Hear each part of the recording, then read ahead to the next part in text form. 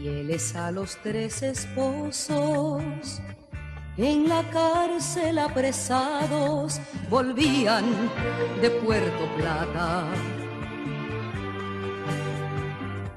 Era noche de noviembre, allá arriba en la montaña, por un camino al abismo, el tirano de la muerte seguía a las tres hermanas.